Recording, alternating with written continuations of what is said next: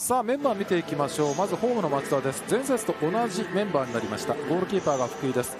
ディフェンス鈴木チャンミンギュ池田尾長です、えー中盤右平川左に沼田中盤そこ安井拓也と松井蓮司。でツートップが藤尾翔太とビッチェル・デュークです。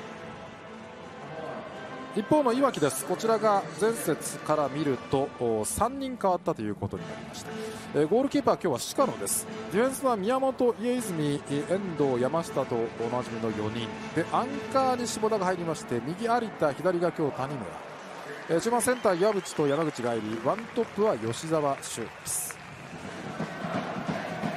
裏に出したセットプレーデューグ強い!強いですいや引ねっ張られながら押されながらだったと思うんですけど、はい。で岩城の、まあ、ヒートマップ見ると大体この左の前というところが8%ぐらい、まあはい。ここですね、この辺りが一番多くなっています。長つけた。いいいいボール。ボールだ。前向きに変わっていって吉田は広げた、ここでクロスディフレクション。ボレー打つ！抑えの効いたいいシュートです。いや今のいわきの形素晴らしかったですよね。はい。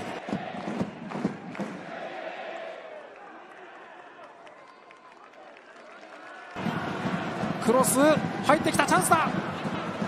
宮本戻す。下田かわした。かわした。あとファールだ審判の前でした。松井のファール。いや高卒1年目の選手だと思えないですよね、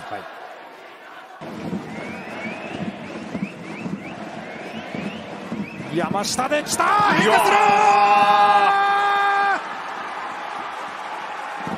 ビューティフルゴール決まりました。見事なフリーキック先制いわきしっかりとコースを狙ったシュートです。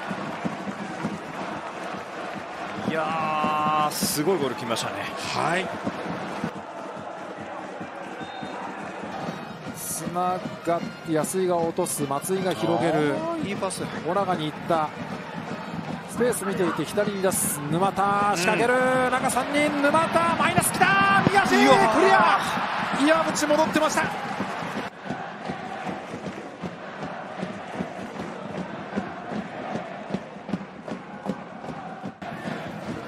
ここです。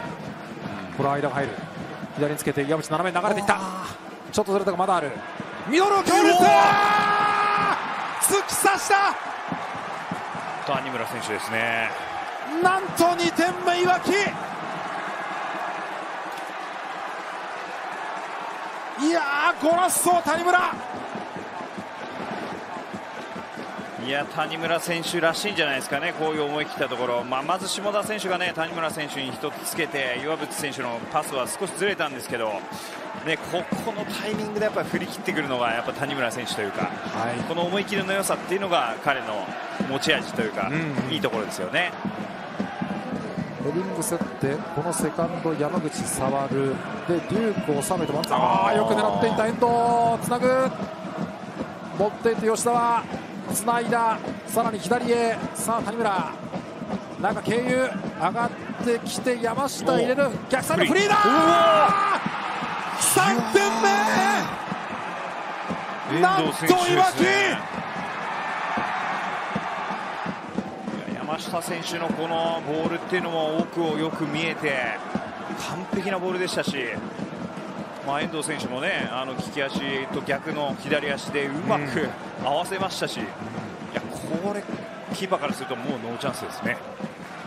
さあサポーターが前です町田。左のコーナー。今に落ちてくる。ボールでヘディングだいや一本きた。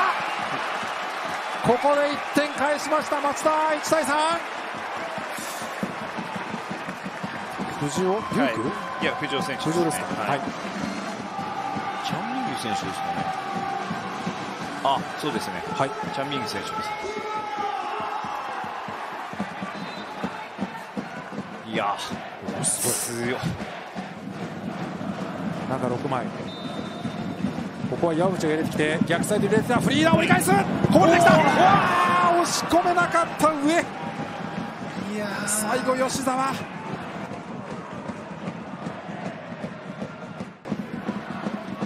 返し鈴木裏に出す荒木流れる。みんななってバスケスバが入って大ボールいやーワンタッチ足の先合わせたミッチェル・デューク1点差。いやすごいゴールです。まあ、このデューク選手の合わせ方っていうのもショートバウンドなので非常に難しいんですけどねうまくスライディングしながら家住選手より先に触りましたね。素晴らしいゴールです。鈴木のボール間に来たキーパーが出る。触る。キーパーより先に触りました。いやチャーミング選手ですよね。見事な飛び込みでした。前当てる。セカンドはつないだ、デュークワンツー。藤原裏に出したここで笛が鳴った。なんと19位。アウェーいわきが首位町田を破りました。